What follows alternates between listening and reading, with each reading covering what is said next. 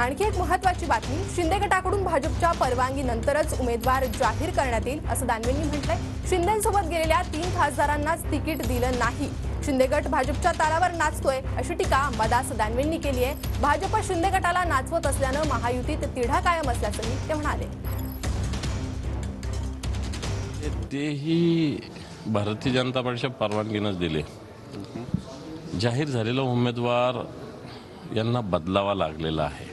तीन उमेदवारांना तर त्यांनी उमेदवारी देणं. जे विद्यमान खासदार त्यांच्यासोबत गेले कृपाल तुमाने हेमंत पाटील भावनाताई गवळी हे तीन गेले या ठिकाणी दुसरे उमेदवार आलेले. आणि हे सगळं भारतीय जनता पार्टीच्या तालावर नाचण्याचा प्रकार आहे. की उरलेल्या जागेवरही भारतीय जनता पार्टी यांना सुखासुखी जागा सोडतील मला असं वाटत नाही. भारतीय जनता पार्टी ज्या पद्धतीनं नाचवते त्याच्यामुळं हा तिढा आजही कायम आहे.